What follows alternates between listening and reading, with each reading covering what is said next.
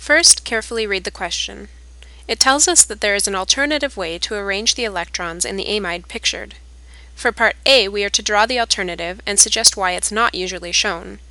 Then part B asks us to explain why the angle between the two hydrogen atoms and the nitrogen atom is found experimentally to be close to 120 degrees.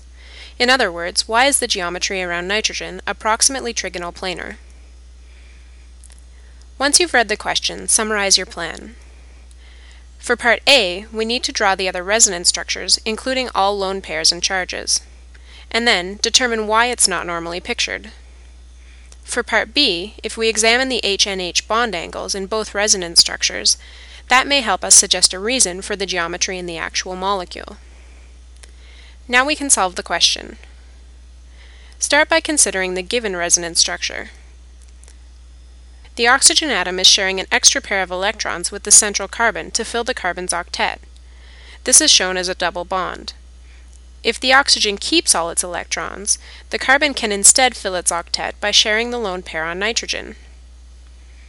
All of the atoms still have an octet, so this must be the other resonance structure.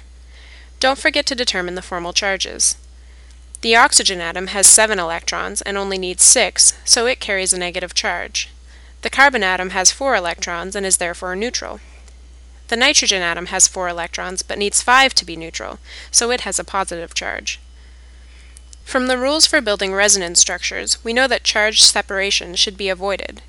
That's probably why this resonance structure is not normally pictured. To solve part B, we need to examine the geometry around nitrogen in both resonance structures. In the structure on the left, the nitrogen atom forms three bonds and has one lone pair, so the geometry is trigonal pyramidal, and the HNH angle is around 107 degrees.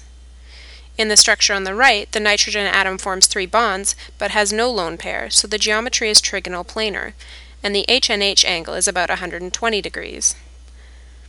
So the experimentally determined angle is close to 120 degrees because the resonance structure on the right is making a significant contribution to the observed geometry.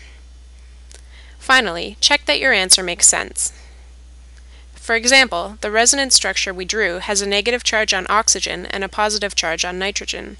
This makes sense since oxygen is more electronegative than nitrogen.